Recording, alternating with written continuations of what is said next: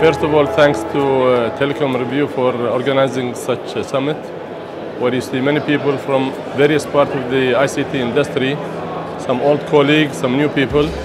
It's an excellent platform for networking and sharing and exchanging some ideas. Telecom Review Summit is also another example of the excellent uh, gathering you have here in the UAE and it is to capitalize on the UAE position of being a great business hub and for people to meet and do business.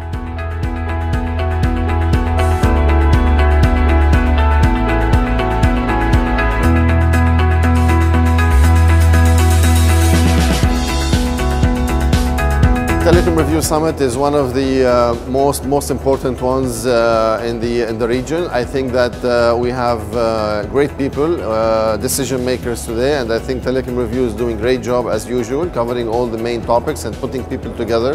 Networking is uh, as as the, as your signature is it's all about networking, and I think today networking has been a key issue not just among mobile operators but regulators, regulators and some and some OTT players also.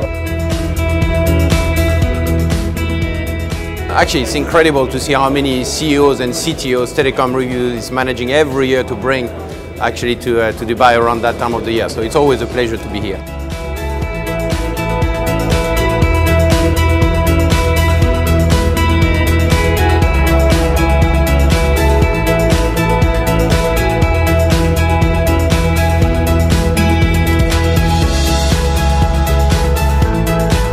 Actually, year on year, it's getting better. I'm always wondering if Tony is going to be able to do it again, and I think he did it again uh, this year. And uh, also bringing people from outside the Middle East and Africa region, which was also very, very interesting. It was the case today with, uh, with somebody from, uh, from, from European operators, for example. And I think he needs to keep doing that because that's interesting. That you know shows us different perspective from other region outside MENA, for example.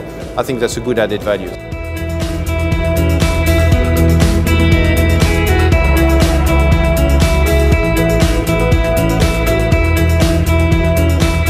It's very interesting to be here again. I mean, uh, for Telecom Review Summit after the experience of last year. I mean, it's such a, a great networking event where you meet everyone. I mean, uh, all the players from the region uh, in one day in one place.